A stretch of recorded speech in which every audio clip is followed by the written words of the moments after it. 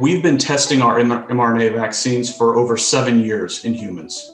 And actually, the body of research that we're building on here goes back over 20 years that mRNA vaccines have been developed and tested. We do have long term data. And actually, in the cancer setting, we have dosed these vaccines at much higher levels and much higher frequencies. We have a very good understanding of the vaccines, and we have comfort that these vaccines are, are safe. Have you done enough tests on uh, you know, trials with Asians for me to know that this is good for us, it works for us?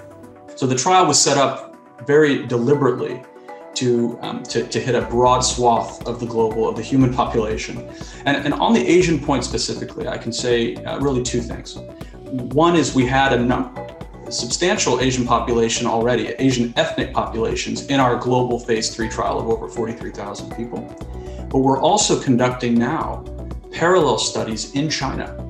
We're actually the first foreign company to conduct a phase two trial of a COVID vaccine mRNA COVID vaccine in China.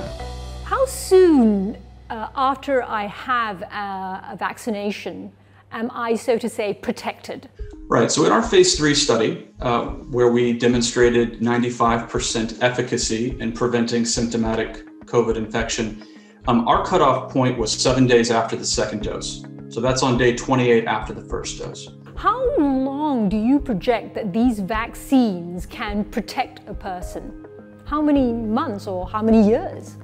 So we don't know for sure yet because we don't have the data, but we believe that immunity is likely to be for at least a year initially.